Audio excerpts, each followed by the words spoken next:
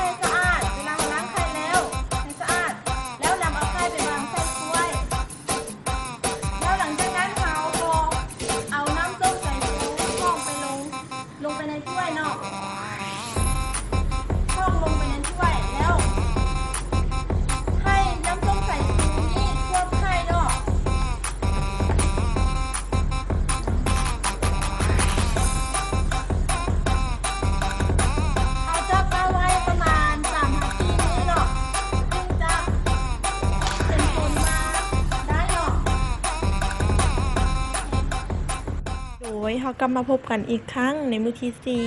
ซึ่งมือที่สี่นี้แนนพวกเราจะมาพบกับความสำเร็จในการเซคายลงในน้ำส้มสายสู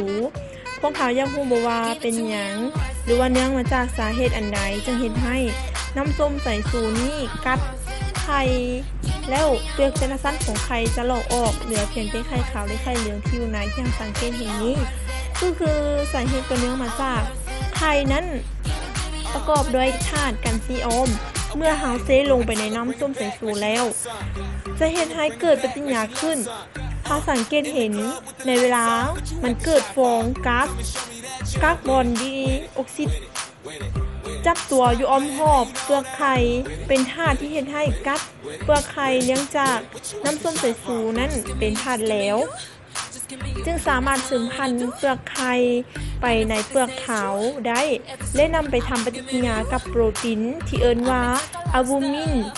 หรือภาษาลาวจะเอิ้นว่าโปรตีนไข่ขาวเฮ็ดให้เกิดโปรตีน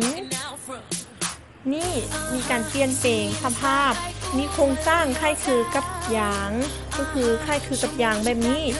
และเขาจะเอิ้นอีกแบบหนึงง่ายๆว่าไข่เบ่งเนาะ